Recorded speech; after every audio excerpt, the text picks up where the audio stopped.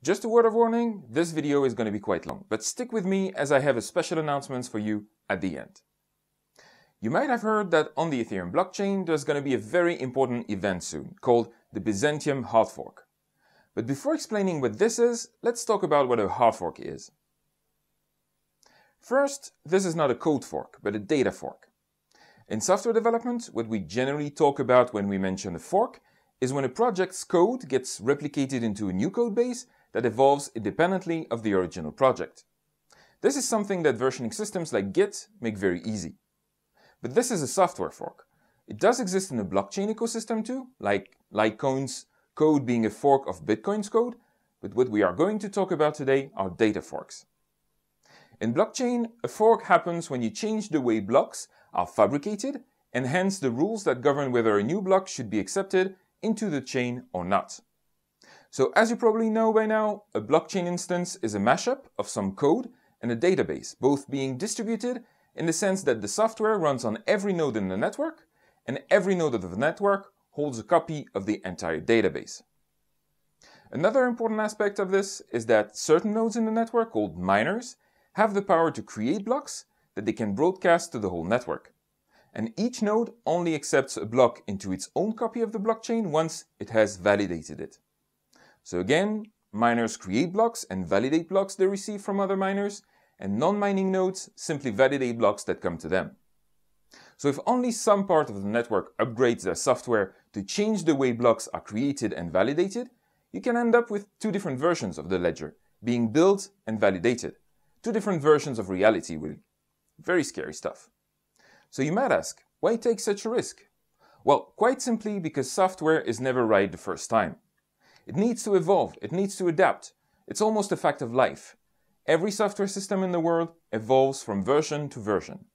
Now, in a centralized system, it's pretty easy to do. You just upgrade a few servers and you're done. But in a decentralized network, where you have no way to control all the nodes, it's a whole different story. Now, what's also important to understand is that in the blockchain world, there are two kinds of forks. Soft forks and hard forks.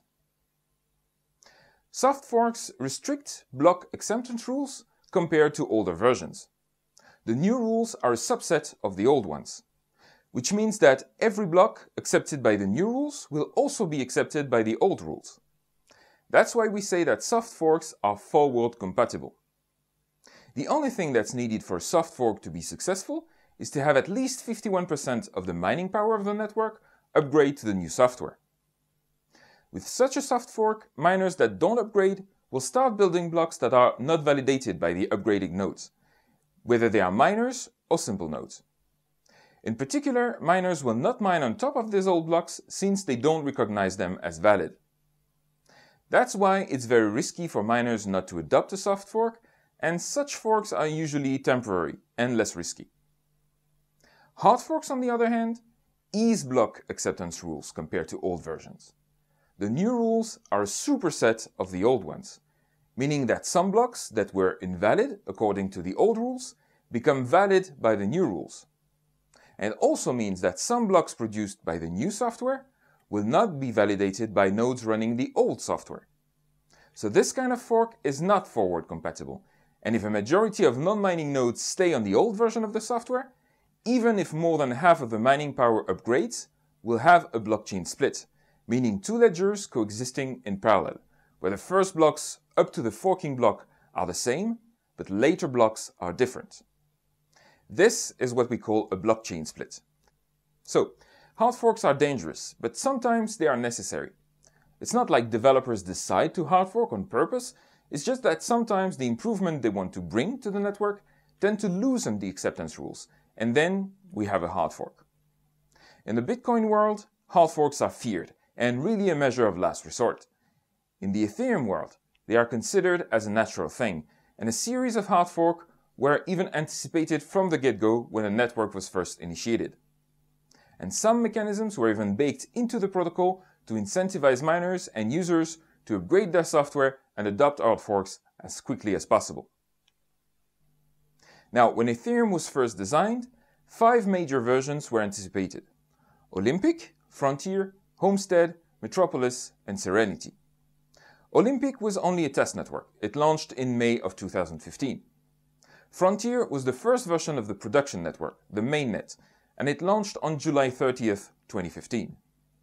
The Homestead upgrade went live on March 14th, 2016, and it is the version that we're still running right now on the mainnet, on October 8th, 2017. The next big upgrade to the network is called Metropolis, and one of its main objectives was to abstract away the notion of account security. But this account abstraction logic, theorized in EIP86, is not yet ready for prime time. I'll put a link to this in the description. So instead of further delaying the Metropolis release, that also contains a few other important improvements to the network, the Metropolis release was split into two sub-releases, if you want, Byzantium and Constantinople. The Byzantium upgrade already went live on Ropsten testnet a couple of weeks ago, and is set to go live on the mainnet on block 4,370,000, which should be mined on October 17, 2017. Anyway, the Byzantium release is going to bring a few improvements to the Ethereum blockchain. Let me explain them to you. First of all, the Byzantium release will bring four new EVM opcodes. Now, the EVM, or Ethereum Virtual Machine, is like some sort of a generic processor, running in software instead of hardware, just like the Java Virtual Machine or the Microsoft CLI. This makes it possible to run Ethereum nodes on any kind of computer on top of which we can implement this EVM. And of course, it makes it possible to change how this processor works over time. As any processor, the EVM uses a series of instructions, also called opcodes. And you probably know that in Ethereum, each opcode has a given cost in gas to make sure that smart contracts don't run crazy and paralyze the network. When you compile a smart contract written in Solidity, it gets transformed into those instructions or opcodes. And Byzantium will bring four new such opcodes to the EVM. They're called revert, return data size, return data copy, and static call. The first three are going to be a big improvement in terms of error handling in smart contracts. Originally, when you had an error in a smart contract, you used the throw instruction that reverted all the state changes and consumed all the remaining gas sent by the caller. Now, let's say you are participating in an ICO. You want to send some Ether to a contract to buy some tokens, but there is a lot of people on it, so you want to go first to be sure your participation is recorded into the blockchain before the ICO closes. To do that, you send some gas to the ICO contract with a very high gas price to incentivize miners to prioritize the transaction. Unfortunately, everyone does the same thing. The network slows down, the transaction doesn't get processed in time, and by the time it's executed, the contract execution throws and consumes all the gas you sent at a very high gas price. So not only didn't you get your tokens to participate in the ICO, but you still lost some money in the form of gas. In recent months, with all the craziness around ICOs, some people lost several thousands of dollars each that way. Another consequence of a throw consuming all the remaining gas is that you don't have any gas left to actually return some valuable data, like an error message, explaining the reason why the contract execution failed, which makes smart contracts very hard to debug and analyze. Now, in Solidity 0410, a new keyword was introduced called assert, that, when compiled, translates into its own opcode, but an opcode that doesn't exist. The treatment of this invalid opcode by the EVM is exactly the same as the invalid jump with the throw all state changes are reverted and all remaining gas is consumed. But another keyword was also introduced in 0410. It was require. Functionally, require checks that a given condition is met, and if not, it interrupts the execution of the contract. In the current version of Ethereum, require gets compiled down into an invalid opcode just like assert, but a different one. Byzantium will add support for this opcode called revert. So require will get compiled down into the revert opcode, and this opcode will behave differently now. It will still halt the execution of the contract and revert all changes to the state, but will not consume all the remaining gas. So require will be cheaper than assert, and it will leave the door open to error messages by leaving some gas for that.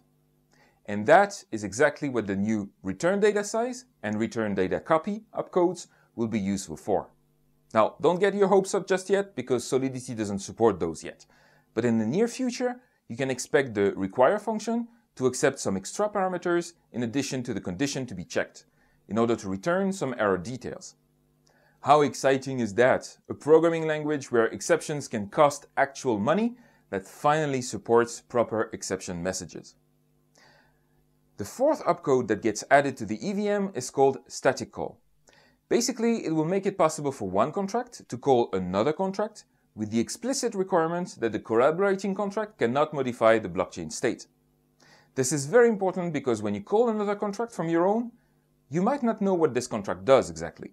And this target contract might modify the state of your own by calling another function back on it, which might cause a reentrancy bug. This kind of reentrancy bug has become very famous on the Ethereum blockchain as the hack on the DAO contract was caused by such a bug. So essentially, what static call will allow for is to make calls that are guaranteed not to modify the state of the blockchain in any way, even if they redirect to other contracts. Such functions will be pure queries, and functions that modify the state of contracts will be commands. So static call will enable the Command Query Responsibility Segregation Pattern, or CQRS, on the Ethereum blockchain. Very powerful concept. Another thing that Byzantium is bringing is four new native contracts. But before explaining those, let's explain what a native contract really is. In Ethereum, a normal smart contract is a piece of code that is running inside a virtual machine, the Ethereum virtual machine, that runs on top of the Ethereum node software like Geth, for example. And Geth itself runs directly on the hardware processor of the host machine it's running on. In other words, smart contract code runs really slow compared to the code of Geth itself. Now, for most smart contract operations, that's not a big problem, since smart contracts are not designed for computing intensive operations anyway. But there are some operations that smart contracts will do a lot that are very computing intensive, like cryptography related functions. These generic operations can be hard coded into the node software itself and put at the disposal of your own contracts via specific addresses. These are what's called native contracts. They are contracts that are not deployed inside the EVM, but implemented inside the node software itself to run directly on the host's hardware CPU, in order to be more efficient and faster. In the current version of Ethereum, there are already four such native contracts that mostly deal with hashing and elliptic curve cryptography. Byzantium will add four new functions. The first one will make RSA verification more efficient the other three will make it possible to efficiently implement something called zero knowledge proofs. I will not go over the details of this here, but suffice it to say that zero knowledge proof, implemented in the form of a mathematical construct called ZK Snarks, is at the heart of the privacy feature offered by another blockchain implementation called Zcash. So thanks to those new native contracts, ZK Snarks will be ported to the Ethereum blockchain, making it possible to make completely untraceable transactions. How cool is that? In the description, I'll put the link to the Geth code that shows the implementation of these native contracts. Now, let's talk about difficulty. As you may already know, the Ethereum blockchain currently uses a consensus algorithm of type proof of work. The way this algorithm basically works is that in order to add a new block to the chain, miners have to prove that they solved a very specific mathematical puzzle based on hashing. And the difficulty of that puzzle is dynamically adjusted by the network so that solutions are found at an almost constant rate, whatever the mining power that gets added to or removed from the network. In Bitcoin, this difficulty adjustment occurs every two weeks, leaving it vulnerable to difficulty manipulations. In Ethereum, this difficulty adjustment is made for every single block. In Bitcoin, a new block is produced every 10 minutes or so, but in Ethereum, the theoretical block time is 12.5 seconds, and every block a miner adds you can look at the average block time over the past few blocks and adjust difficulty upward or downward for future blocks to keep the same average. Well, almost the same average, because in practice, right from the start, a specific mechanism was implemented into Ethereum clients that is meant to increase the average block time exponentially after a certain block number. This mechanism, called a difficulty bomb or ice age, is a way to incentivize miners to adopt hard forks because each hard fork can potentially change the block number starting from which the difficulty bomb kicks in. So if a miner does not adopt a given hard fork, if he doesn't upgrade his software, he is forced to keep the difficulty bomb timer as it is, which will lead him to create blocks at a slower and slower pace, which is not good for business. You gotta recognize the elegance of that incentive mechanism. Now, if you go to a site like ETHStats, you will notice that we are already far away from this 12.5 second theoretical average block time. At the time of this recording, it's actually closer to 34 seconds. So in effect, the, the difficulty bomb already kicked in, and as you can see it on this graph. And we are already in the Ice Age. So effectively, with Byzantium, the difficulty bomb timer is going to get reset and we'll go back to a faster network with a shorter block time of around 12.5 seconds. And the Ice Age will get delayed another 1.4 years to give some time for the next hard fork to be ready. Another thing is that right now the block reward is 5 Ether. At the beginning of this year, 1 Ether was worth around $10. At the time of this recording, it's closer to $300, hence a 30-fold increase over less than 10 months. Of course, it brought more miners to the network, but as the difficulty was adjusted accordingly, it means a lower probability for each miner to find the next block. In other words, a bigger cake to share between more people, but a bigger cake nonetheless.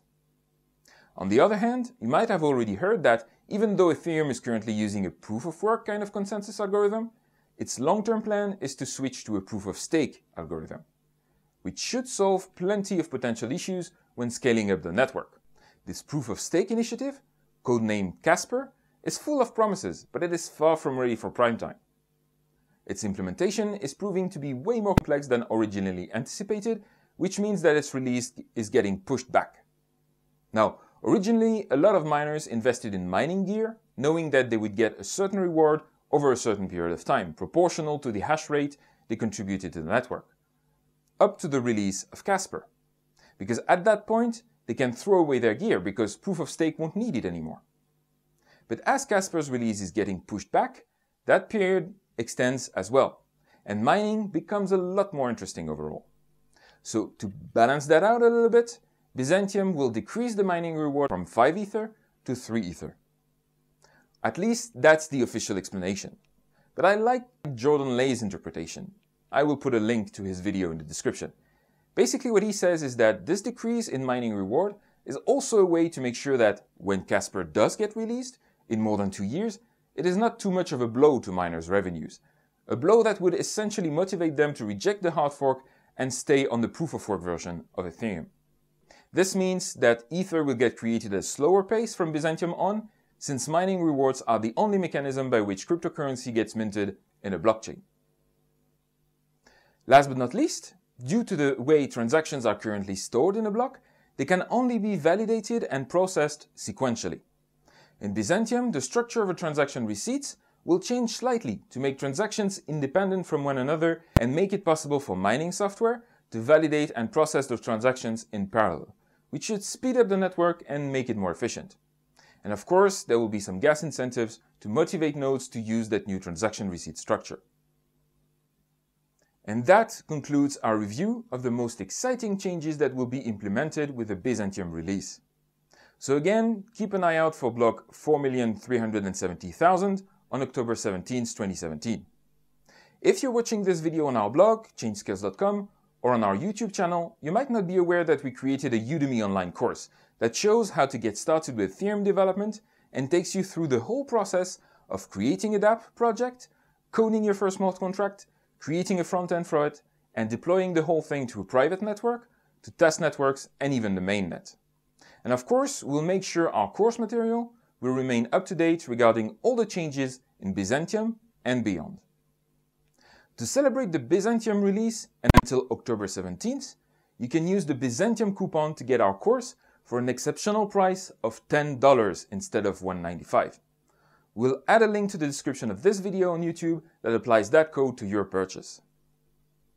We sincerely hope that our course, along with this video and all the other material we have in the pipeline, will keep driving more people to this incredible ecosystem that is the blockchain.